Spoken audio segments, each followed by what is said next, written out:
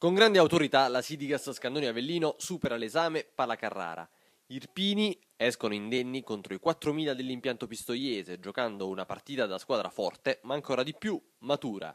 Dopo un avvio complicato che ha consentito a Pistoia di condurre il gioco, Figlioi e compagni sono venuti fuori nel secondo quarto. I secondi 10 minuti hanno indirizzato la partita, 26-10 il parziale per la formazione biancoverde di coach Stefano Sacripanti, trascinata da uno strepitoso Jason Rich, che è andato al riposo con 18 punti al referto. Ma la vittoria è firmata anche a Madindiaie. Il senegalese fa due o tre cose utili che servono al gruppo e difensivamente è una presenza notevole. Sotto di lui non si tira, intimidatore come pochi, rimbalzi e presenza difensiva. Il resto l'hanno fatto gli altri, ovvero Figlioi, Lunen e tanto Wells nella terza frazione, ma anche l'importante presenza di Lorenzo D'Ercole, che quando è entrato ha alzato l'intensità difensiva.